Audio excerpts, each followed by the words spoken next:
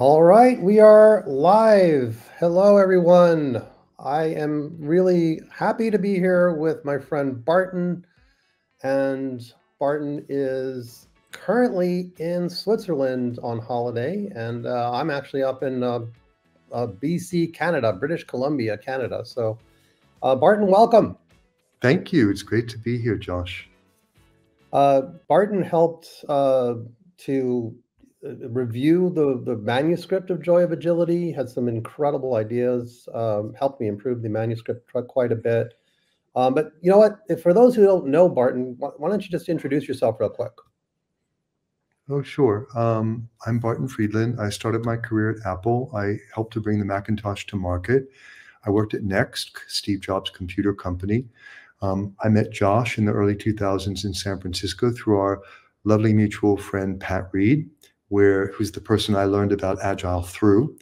Um, and currently, I'm at ThoughtWorks and I lead our Europe AI Hub, where we help people to actually get value from the AI um, ideas that they have by focusing on strategy. Fantastic. What what a background. I mean, you know, Apple and Next and uh, just uh, and of course our common connection to Pat Reed. May she rest in peace. Absolutely. Uh, she, she, brought us together. So she was the reason we, uh, you know, started collaborating. So I, am very grateful to her uh, to to know you, and um, so we so have a lot to talk about. Yeah. Yeah, we do. Are you ready? One, well, one of the things that uh, yeah, are we are we ready? So one of the one of the things we were just talking about before the show began uh, was that uh, preparation and being ready, being being prepared is a big part of the mantra we're going to discuss today. Absolutely. So, so the, the and the mantra the mantra is uh, be readily resourceful. And um, I'm going to just read a really quick um, summary of it. And by the way, welcome, folks. Hello, Carol, Enrique. Uh, anyone else want to say hello? Please do on the chat. We love having you here. And as usual, ask questions. Don't be shy. So um, in, in the book, Joy of Agility, here it is. Uh, the last section, the last mantra in the book is called Be Readily Resourceful. So the word readily means without hesitation. Agility involves being readily resourceful when facing challenges. People who are resourceful have an ability to find quick and clever ways to overcome difficulties. Being readily resourceful means not hesitating to overcome challenges, maneuver around obstacles, and quickly solve problems. This isn't always an easy thing to do.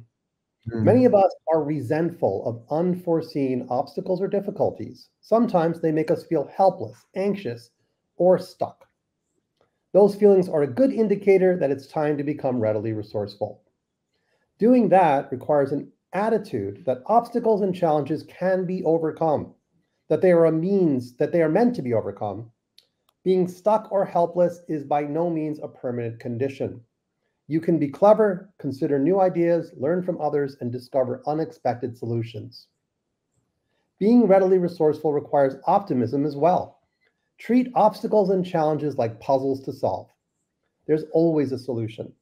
Consider options, leverage diverse points of view, ask many questions, and determine whether constraints are real or imaginary. So that's just a little bit about the mantra. And uh, yeah, let's let's dive in. Um, so the the fact is to be readily resourceful, that word readily means without hesitation, right? You're just you're just you're not sitting there waiting a month to to be suddenly become resourceful your so it's a high bar. All the mantras in the book are a high bar. You know, we we seek to to get to that state, but it's very difficult to eventually reach it. Um, what does this mean to you, this mantra? Well, two two things come to mind. I think the first is kind of the idea of the jazz musician. You know, everyone thinks that like the jazz musician. You know, here we are in Switzerland, Montreux Jazz Festival, right? Right. Um, everyone thinks that like the musician, the jazz musician is just kind of making it up. And they're not making it up. Mm-mm. What they're doing is they're improvising And the only reason that they know how to improvise is because they're really good players by the Right. book, good players. They've, Mhm. they've done the preparation work so that they can improvise. It, it isn't you just start improvising.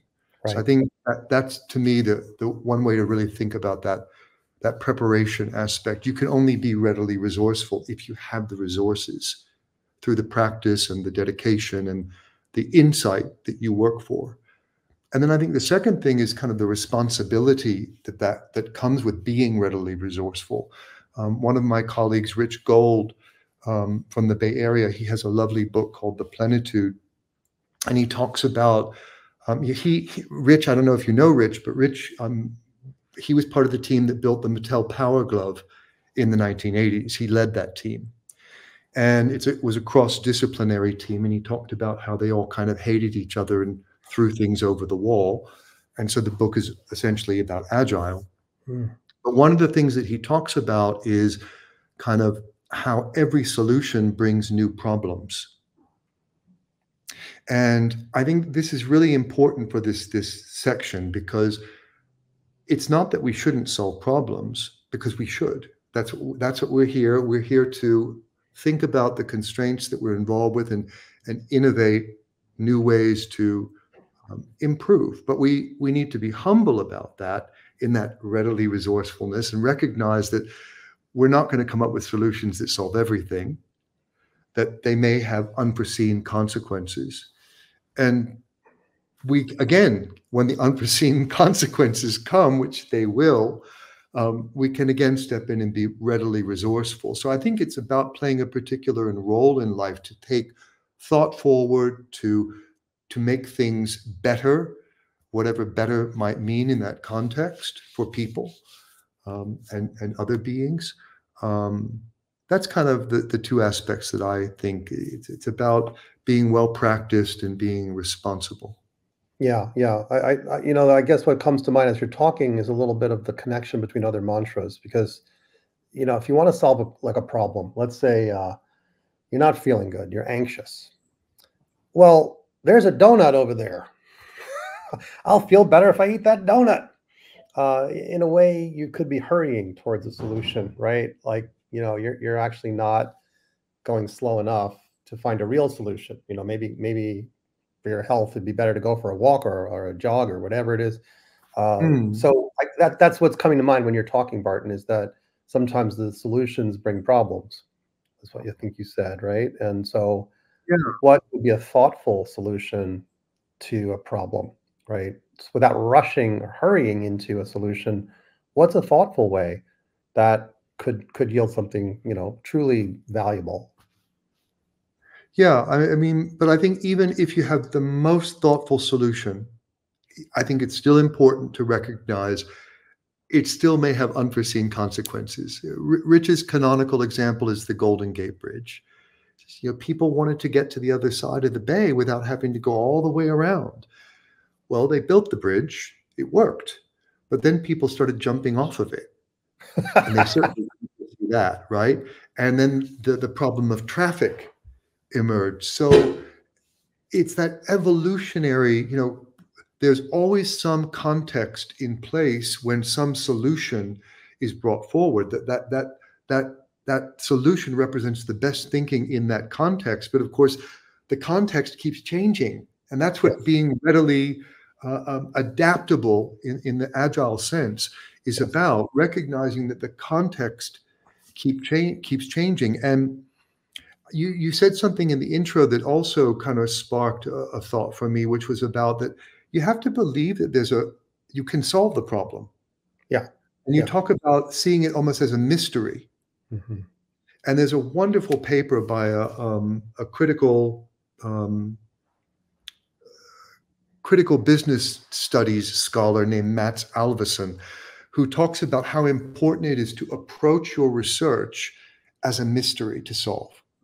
Mhm. And I think that's such a great framing because if you go into a context saying, there's something here I'm not seeing, there's something here that's not visible, there's something here that's not known or understood. If you can get to that, then I think uh, when you talk about that thoughtful solution, that's where a, a lot of that that power of the insight can really drive things forward um, in an exponential way. Like you talk about the bullet train um, in, in yes. the book, and it, it, they they wanted to go at least 65 miles an hour, but they they went to 120. So it's not, in my mind, about 10x or double or whatever. It's about really thinking what could we do here really what what, what are our levers to do things differently and that yeah. does require the thoughtfulness that you're talking about yeah yeah i, I guess like um you know because there you mentioned um, musicians of course uh, jazz musicians and how they improv and it's an incredible skill and it of course requires a lot of practice. Um, there's a story in the book about a woman who was a uh, concert violist and she had uh, she was playing a solo and she was supposed to play it on the i think it was on the a string of the viola and it broke. And so instantly she switched to the d string and did the solo on the d string which is apparently extraordinarily hard to do and she just did it and uh, that story is actually in the section on uh, adaptability so mm-hmm. poised to adapt she was poised to adapt because that's a great word. She was so uh, ready to adapt in that moment. But the question is, okay, what's the difference between that being poised to adapt, which is one of the mantras, and being readily resourceful? Uh, I, I don't have an, an answer right off top of my head. This is, this is like this is the nuances of this.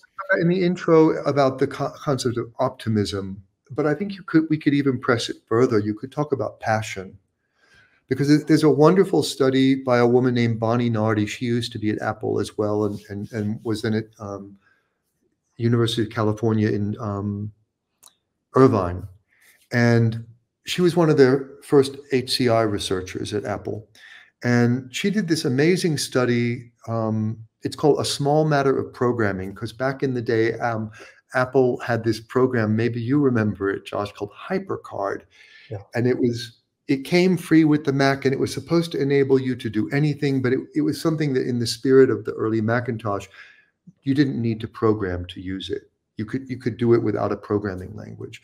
And it was a huge flop. No one used it. And so she was really interested as a researcher, like, why is it that people do these things? So she studied um, people who knit I don't know if you've ever seen knitting instructions, but they're really difficult to read. They're like assembly language in programming. Um, people who do bowling, again, the scoring system for bowling, oh, um, very, very complicated. Like you'd never look at it and say, like, okay, I see what's going on. You have to learn it. Mm-hmm.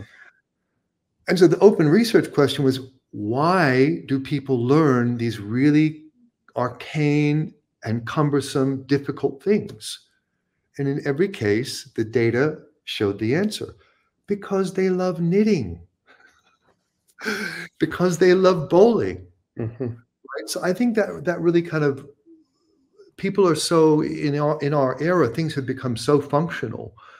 We sometimes forget that to really break the mold, we, we have to be very passionate and interested yes. in being readily resourceful. It's not like I'm just going to wear my readily resource. Like, what do you want to be readily resourceful about? Right.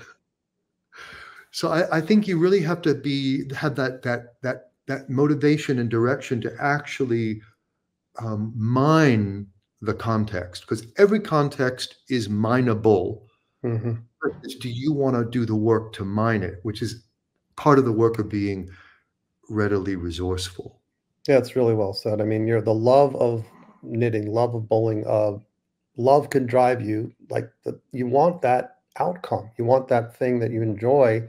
Uh, in the case of Sir Richard Branson back in the late 1970s, when he was stuck in the so it, you know it's funny because Richard Branson tells this story, and, one one version of the story he's stuck in the British Virgin Islands trying to get to Puerto Rico. Another version of the story he's in Puerto Rico trying to get to the Virgin Islands. The latest one I heard was he was in Puerto Rico wanting to see his girlfriend who was in the British Virgin Islands. And again, the story is, of course, he's stuck in the airport. All the passengers are told that the flight's canceled.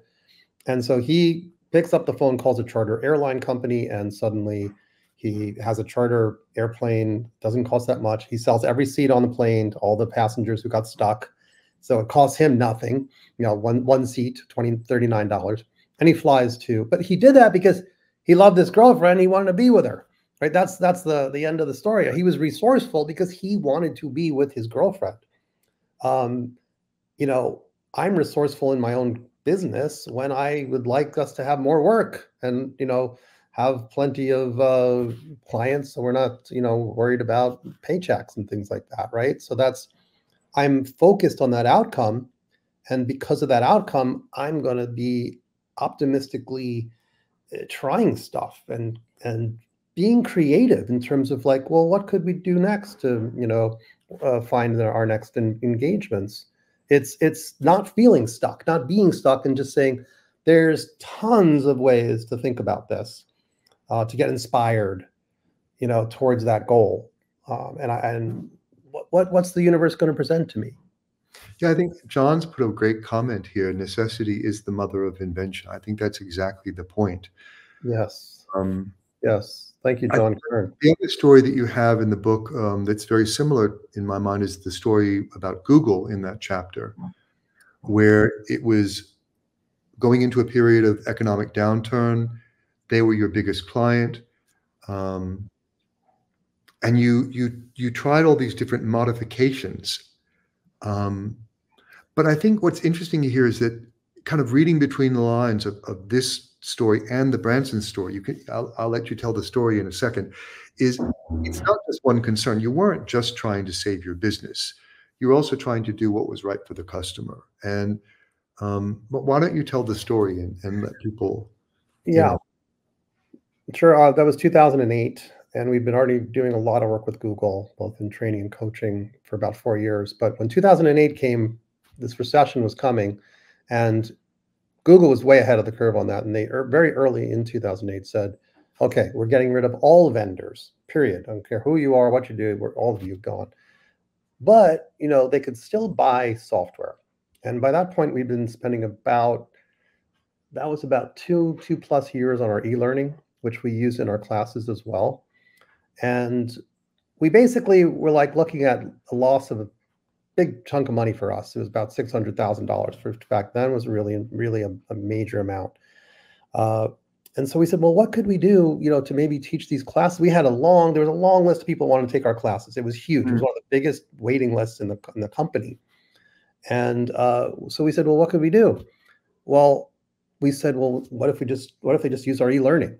Right? And and that wasn't enough though, because they said to us, yeah, your e-learning is very good, but we, we like is when you walk around the table and you look at programmers working and you give them advice and you're looking over their shoulder and you mm-hmm. so, so we started to say, okay, so how could we automate that? How could we do that without being there?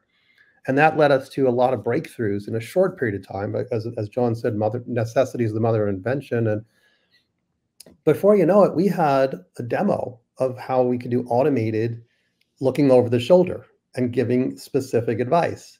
And I went into Google and had a meeting with the director, and she came away saying, "This is a game changer." You know, and, and a few weeks later, we did a huge deal for six hundred thousand dollars, and they said they use that e-learning all over the country, uh, all over the, the company.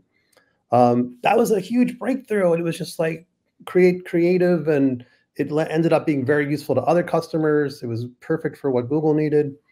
So but yeah, it was just being resourceful and not being stuck or being like feeling sorry for ourselves. Oh, we just lost the client.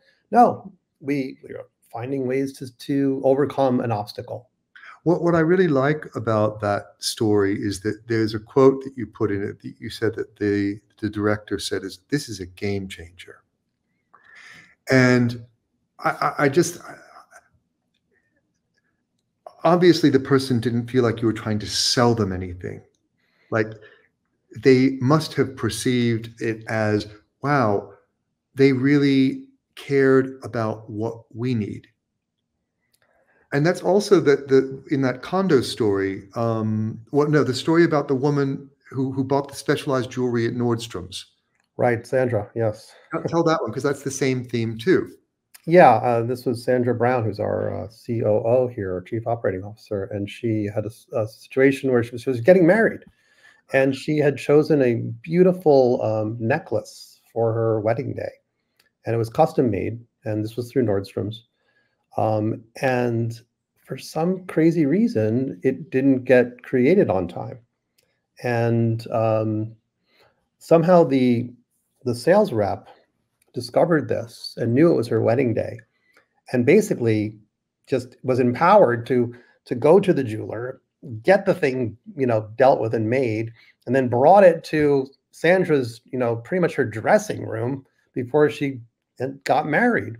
Um, so is that you know close enough to the wedding uh, minutes, minutes away from the wedding, comes in with it, and she was just blown away and blown away for life. Is like client for life, like that. That kind of level of service is just insane. This woman sales rep was so empowered to do this kind of thing for a customer. Yeah, and, and that just to be. Like, I can imagine Sandra thinking like, "You did this for me, like for my, you know." And what all these three stories have in common is that in that moment, the the the protagonist, right, the one doing the action, was acting out of their passion, completely yep. enveloped. Like there was no like, I want, I got to do this, but I don't think that that it was just self interest right? I don't think that the salesperson at Nordstrom was thinking like, I really want to get the commission on this necklace, although right. that may have had something to do with it. In the same way that Richard Branson was like, well, I can afford this, but if I can get all these other people to ride with me, it'll cost me less. But they need to get there too. Exactly. Right. Exactly. So it, it's when, it, and that's what a moment of great jazz is. It all comes together, and the human mind can't actually do that. You just kind of, in a way, um, surrender to like i'm just going to go for it. I feel like I've, I've practiced enough it's time for me to go for this. Yeah um, yeah. Love that. Um, it, it, i guess i mean for me i, I want to make this accessible to people this this concept of being readily resourceful. It, it's like i don't want this to what i hate is for people to think okay you told a story about a, a, a violist you know adapting on the fly uh, in, a, in, a, in her solo in the symphony. Well, she's a sim, you know a symphony soloist. She's incredible. I'm not incredible. So what does this story have to do with me? Like right. it, this is this this mantra is something I use every day, mm. where I'm mm. like, if I'm feeling stuck, if I'm, I'm facing an obstacle, I have to step back and start to think, well, how could I be readily resourceful? It's it's meant to be an everyday thing, and it's not for superstars. It's for all of us to not let ourselves get stuck and feel like victims. If we can have this mindset of being open-minded and and and then then then there's the prep to being in in a preparatory state where this can happen. Yes. Uh, you know? That so, I mean, it, it sounds like you know a kind of an egalitarian making this available to everybody is a very important thing to you um because it's so useful. I mean it, it sucks to feel stuck. It stops it, it sucks to feel like an obstacle. And there's the learned helplessness right? Where uh people just feel there's a story in the book of, of, of a fellow who you know this was a, a gig we did once i did where uh, we came in and the entire first floor was empty. Mm-hmm. um, and i wanted this group of software people to kind of collaborate in a, in a shared space. And I was like, that downstairs area is perfect. We could totally use it to like create a wonderful little community community area. So everyone came down with their desks, out there with their computers and stuff, and it all got set up. This one particular guy, in every single retrospective, he'd say, "I don't like this open open workspace," and I'd say, "Can you give us a little more feedback?" And no, I just don't like it. And it was like the, after the third time, I said, I said, I got to talk to this guy just one on one. So I went up to him like, what is it? Like, you're not saying what you don't like. You're just saying, I don't like the open source. What is it specifically? He's like, you really want to know? I said, yeah, I want to know. And he shows me, well, he's like, well, look where I'm sitting here. Because everyone had, they had assigned seats because these people were like rocket scientists. They were doing stuff where their their own computer, they couldn't just use anyone's computer. They had their own. Right. So he had a place where he sat. It's like, look, look, Josh, every time I move my, my chair in, my knee hits this post. I was like, oh, that's terrible. Well, and, and then also back up in my cubicle, I had pictures of my family and stuff. And like this open space, I don't have any of that. And, and also I, I, had plants in, in my cubicle upstairs. Like, you know, I, it just doesn't feel good. And I was like, mm-hmm. well, I was like, well, maybe we could move you to some other spot. Well, where would you want to sit? And he's like, well, over there would be good. And he pointed to this spot by the window. And I was like, well, okay. Well, then so lunch came, and then he went off to lunch. And I was like, I was just so tired of this problem that I was like, I'm going to fix this. So I, we wanted to move his computer, but we needed a really long Ethernet cable. So I go to this facilities guy and he's like, I said, could, could you give me like a 25 foot Ethernet cable? He's like, well, I can do a requisition. It'll take about three weeks. I was like, never mind. I drove to a store and I bought a, 25 foot Ethernet cable. And then on the way back, I see some guy selling plants on the side of the road. So I pull off, I grab some plants, and I come back in, and I we move this guy's desk, we move his computer, we set up the plants, get the Ethernet cord in there, and he comes back from lunch, and he's just like, you know, pleased as punch. I mean, he's just so absolutely. Happy. It's kind of like the Nordstrom store. You did what the salesperson did, and then the plant showed up because you were willing to take the time to go to get the Ethernet cable, and that's that, that's where the the, the momentum uh, that, that kind of goes beyond you know expertise comes in. Yes, and this guy was absolutely brilliant. So I said to myself, why didn't why didn't he feel empowered to do this? Right? He could have moved his desk. 25 foot Ethernet cord doesn't cost much. Uh, plants cost nothing, right? It's like or he even had plants and pictures of his family up in the cubicle. I mean, why why couldn't he have done it? Well, so he was stuck. Yeah, yeah. About that, that was preventing him from solving the problem. Absolutely, and I think, I mean, when you were kind of revealing for all of us what his inner reasons were, like that comes back to the basic skill of to be readily resourceful. You have to be willing and I guess respectful of the context, right? You you made it possible to reveal more of the context, the hidden context. Maybe other people after the retro were thinking like, gosh, you know, what is up with him? Because he's not telling, right? So we're all having our perceptions and all of that is happening. To kind of go beyond that, that that's that root cause thing, you know, in so many of the organizations that we work in, the root cause is right there, but no one really wants to look at it. Right. Yes. Yes. They prefer the superficial uh, solutions and. Uh... Absolutely. So I think I think in the story, um, what is the name of it? I can't remember. Give me one second because I wrote it down. Yeah, no worries. There's a story called Kondo. Yes. K O N D O. And I'm just going to read something that she says in it because I think it's so powerful. She says, The root cause lies in the fact that they can't see the results or feel the effects. This is precisely why success depends on experiencing tangible results immediately. And I feel like she's speaking on behalf of any of us who want to enable that experience of empowerment or acceleration for the people that we work with. Hmm. And of course, we can't force it on them, but we can, we can offer them the conditions. We can offer our clients the conditions. We can offer our coworkers the conditions where that can happen. But it, right. we need to be mindful of the fact that we've probably been lucky enough to experience it multiple times. We know it's real. We know it's not just for um, the, the you know orchestral violin players that it's for everybody and i think that it all back to responsibility if you want to be reliably resourceful sometimes you have to kind of fit what it is you're offering to the people that you want to help in a way that's actually going to produce meaningful results to them not to you right right? I, you know, when, when, when Next is around, what was so exciting for me is that it had the complete works of William Shakespeare on it. a lot of other people didn't care about that. Right. So if I had offered that to them, they wouldn't be interested in a Next. Mm-hmm. I told them there was a digital signal processor. Well, that's another story, you know. so we have to be very selective about what it is we're offering people. Yes.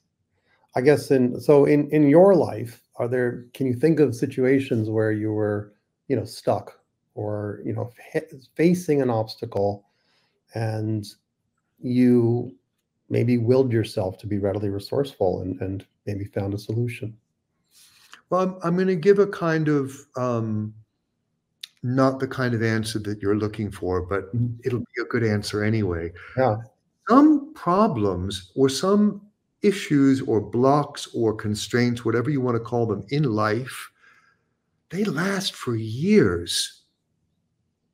You know, whether it's uh, the innovation of, of, of, let's say, the internet, where we all knew from the beginning where it was going to go, and then the dot com thing happened, and then the bubble burst, and it took years to get there. And now with AI, there, there's a lot of things that are possible again. A lot of people don't see. It's going to take time. I think for me, uh, what's interesting about being readily resourceful is a friend of mine talks about it like being willing to give the gift, but not expecting them to open it necessarily. Mm-hmm. I think for me, being readily resourceful means looking at whatever circumstance you find yourself with a client at the grocery store, wherever, you have some interaction with someone, they ask you a question. What are you going to offer them? If you set as a condition of offering it to them that they have to do it your way, that they have to get it right now, it's not going to work. Sometimes they will, and you're really lucky and you have a great client engagement with them because they're ready. But sometimes, whether you realize it or not, you're actually the one setting them up for the next time when they'll have the opportunity to make that choice again. So I think for me, that that's kind of how I would answer that question because you have to just be very clear about what your purpose is. It's back to that passion.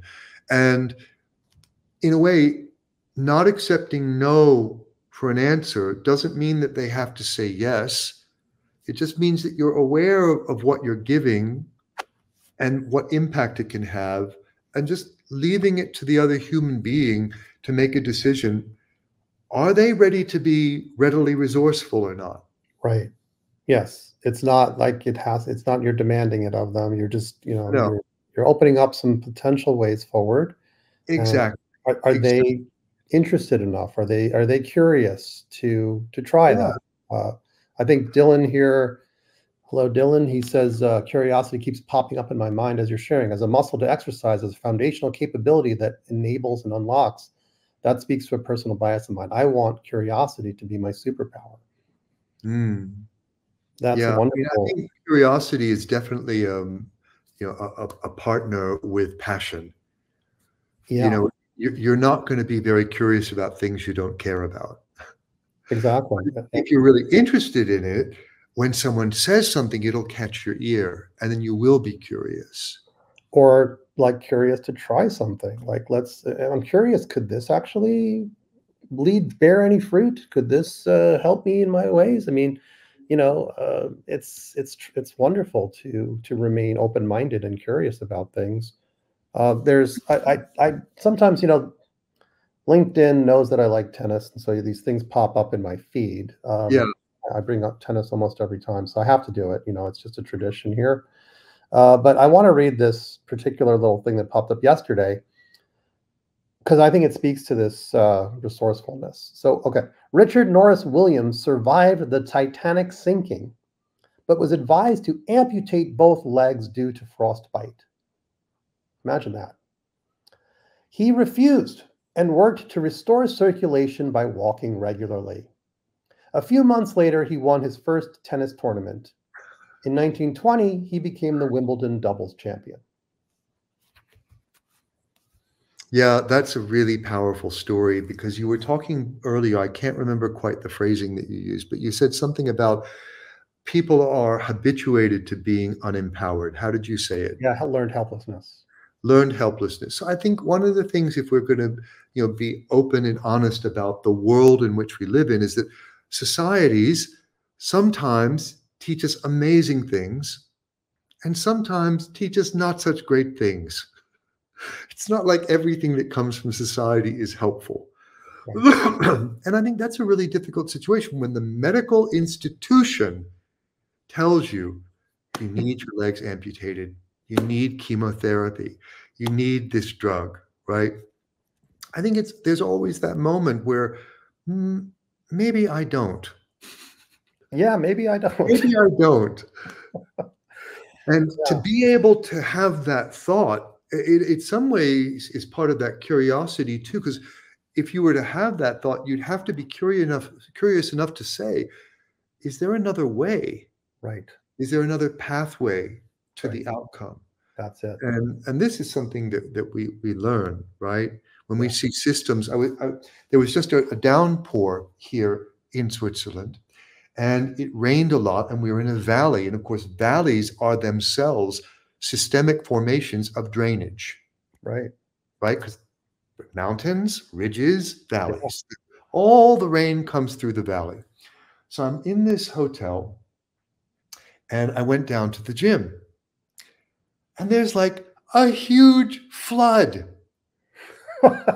In all the water came inside the building. The, the carpet like halfway down this beautiful hall with concrete and no one from the hotel had seen it yet. So i went upstairs. I told reception.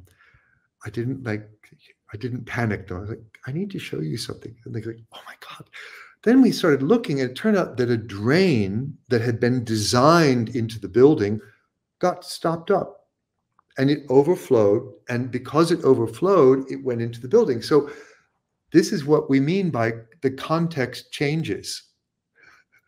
Right? You had to be readily resourceful. So i came up and i worked out in the room. It wasn't as good of a thing but Mhm. at least now they're going to be able to probably address the damage because if i hadn't gone down to this part of the hotel that probably not a lot of people are going to um, it's a spot like people don't go to the gym. They go out and they go hiking.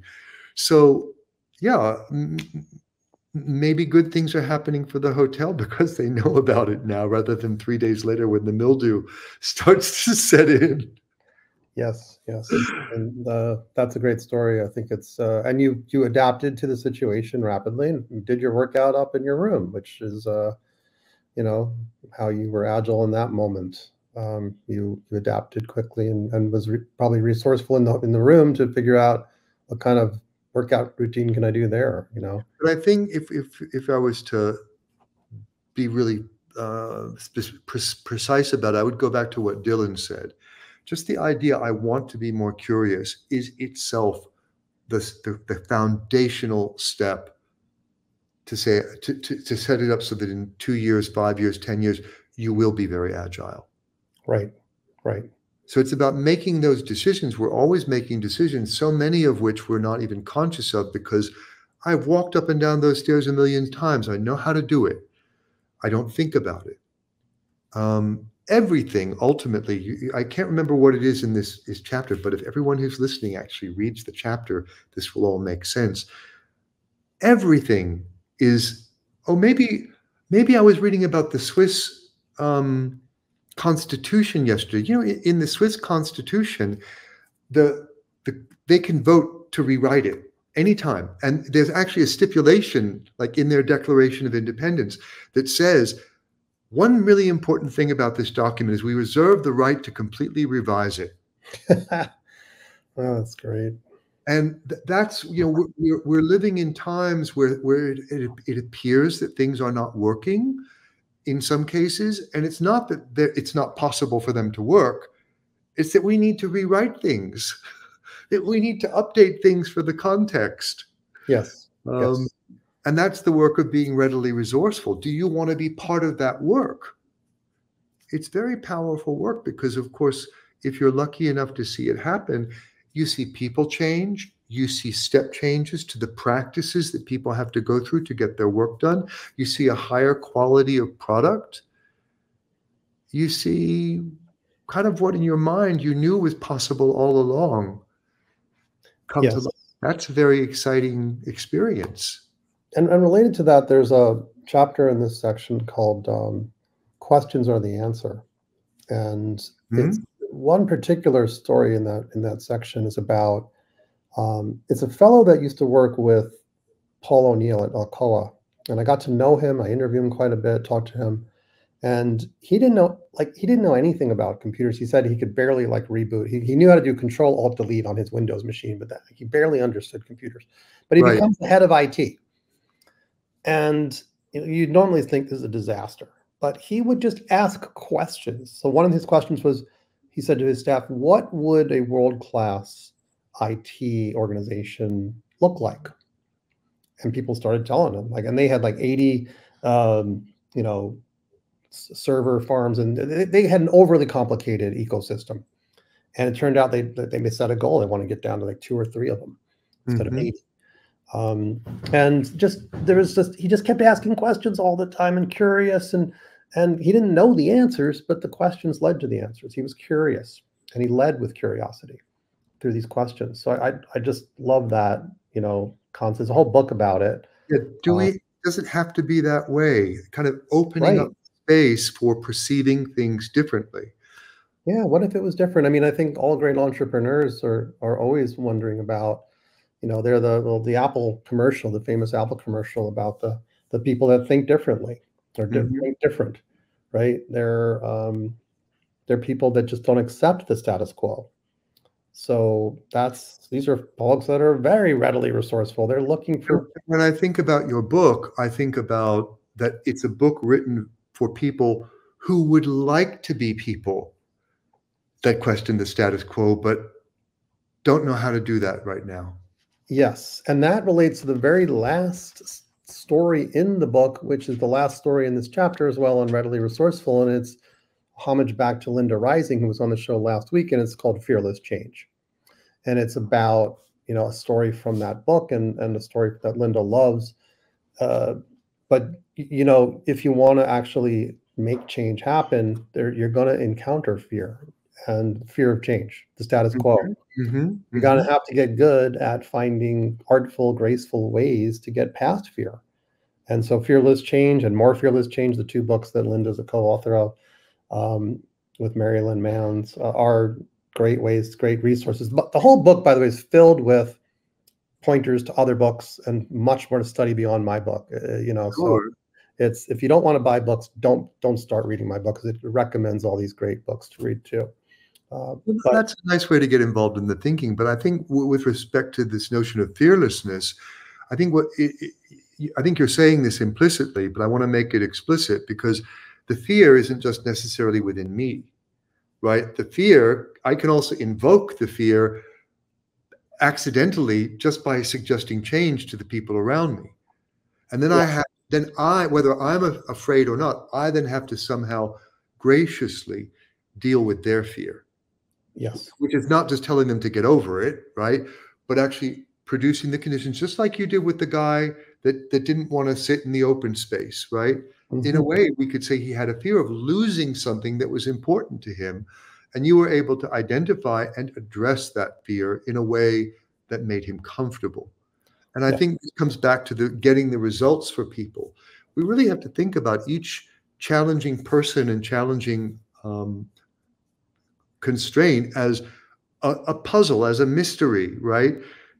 How could we make this work in a short time span to produce some results that people will see so that they'll want to take the next step, so that they will want to take the next step, not that I push the next step. Yes, and there are always constraints we're dealing with. Some some coaches could read the story about me helping that that that fellow move his desk and say, "Well, you were impatient. You should have you could have basically let him eventually get to it. Guess what? Constraints. I had a short window of time to work with this team, and then I was moving on to another team. Very short mm-hmm. window of time. So, and never, and also, I didn't want to show the team that three weeks in a row or three three iterations in a row, uh, the same problem was on the retrospective board for needs improvement. It was just stale, sitting there, not moving. I, I like mm-hmm. what we do. We don't complain about things; we fix them. So I needed to demonstrate that, and I, I was running out of time. Right. It, it, so yeah, you you have to have some certain goals in mind um, mm-hmm. if you're going to do this, and it's not easy, right? It's not easy. It's it's these are these are challenging. Every mantra in the book's challenging. This is no, definitely I mean, be, being a um, improviser, jazz musician. It's not easy, but when you're in that moment, it can be really fun.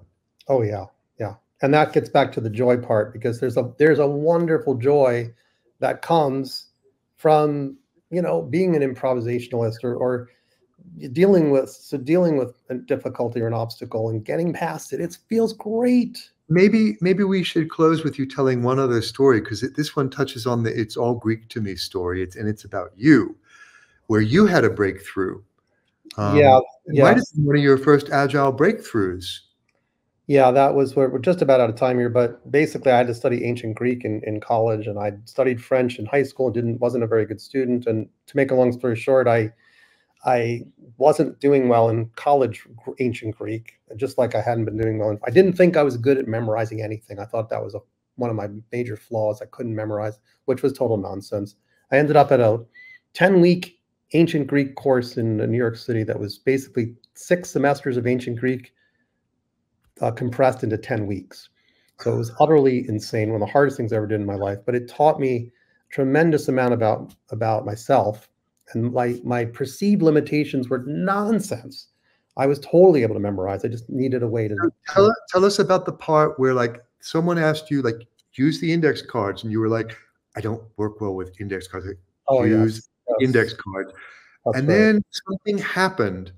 Like you had all the index cards, you're doing the studying on the 4th of July, and something happened. What happened? Well, I basically, you know, the fact of writing the cards, you're writing ancient Greek words on these cards and verbs, and and I just, you know, what really happened was I had to really just study them because they quizzed you every single morning, and I just, uh, it was this immersiveness that took place that really was different in a way than normal courses, being immersed in it for 18 hours a day we are studying ancient greek and I, am that's about the right amount of time 18 hours a day. Um, it was just utterly insane but so it taught me that you know these perceived limitations were nonsense and that was a huge breakthrough for me and what it taught me too was that even though i'd struggled in the past um, i found a solution. So then i was like oh well next time i struggle with something i, I struggled to teach myself uh, polymorphism in the late 1980s Mm-hmm. And the first few books I was looking at were like, this is great yeah. to me. I don't get this. So then I was like, well, I'll find another book. And I found another book and it made it clear instantly. It was like, oh, this, this, now I get this. What you said in The Joy of Agility, the one additional point that you said in the book was you you started to recognize a pattern that you hadn't noticed before. And maybe the interaction, you know, the physical interaction with the cards, the repetitiveness, seeing it over and over again, you started to acclimate. You, you oh, saw oh, yeah. something different. And I think that's kind of the magical breakthrough for everybody. Yeah. You know, yeah. if you if you submit to the process, you will be changed by it. Yes. Yes. Yeah, it's uh yeah, I wish we had more time to keep keep diving in, into some of these wonderful thoughts. But um hey Barton, this has been a pleasure and uh thank you for having me. It's always nice to connect with you, Joshua. Yeah, thank you all for coming, everyone that showed up and the questions you asked. I'm sorry we didn't get to more of them. Um, and we we this is the end of the six six sessions we've been doing on Joy of Agility. So, but it's only the beginning. Only the beginning. Yes, there's a lot more to do. So, uh, hope we'll have more sessions on this. And uh, thanks again for for everyone to come. Bye, everyone.